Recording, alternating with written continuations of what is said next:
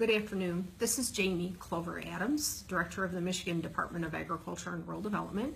And I'm here today to give you a little bit of an update on where we've been in the last 10 days on our fundraising for the victims of the wildfires out in the, on the western plains. Um, here in the office, uh, getting ready to, for Lyle and I to make good on our, on our promise. Um, we did uh, receive $6,700 worth of donations over the last 10 days. Thank you, thank you, thank you to everyone so very much. It was such a generous outpouring, and um, uh, I'm so very pleased. And I knew it was out there, but I, I'm glad you were able to give. Um, so I'm going to today um, write my check uh, for Lyle and I to send our $3,000 over to um, Chemical Bank for the fund. So I'll do that right now. Um, I do, uh, again, want to say how much I've appreciated it. Uh, we had a um, convoy that was um, out to uh, Oklahoma and western Kansas over the last four days.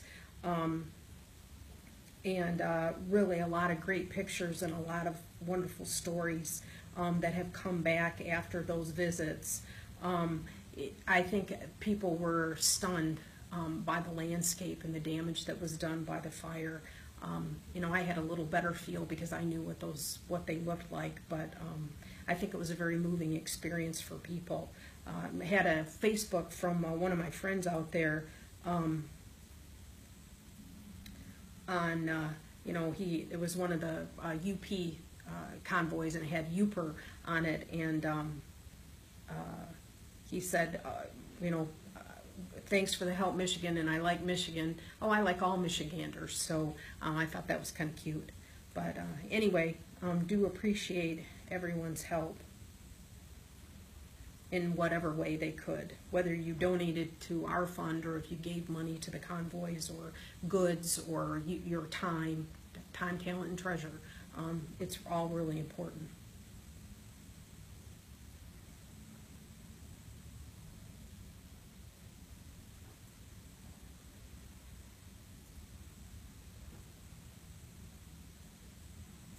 Okay, there we go. I do still know how to use the US mail. um, it works that way. Uh, so we'll put it in there. Put on a stamp. We have all these cute little pet stamps. So um, again, as I've said before, for the folks out west, um, this is not a sprint, it's a marathon. And this is not going to be the first of help that they're going to need. We need to keep them in our prayers, um, and we need to continue to help in any way that, that we can. Um, so here we go, and I will be sealing this up, and then I'll, um, as I go down to eat lunch, I'll drop it at the post. So thank you again, everyone. I really do appreciate your help. Um, please let your friends know. I'm going to keep the GoFundMe page on uh, so that we can continue to collect donations. So if you have an opportunity to pass this on or pass on any other information, I really would appreciate it. Thanks so much.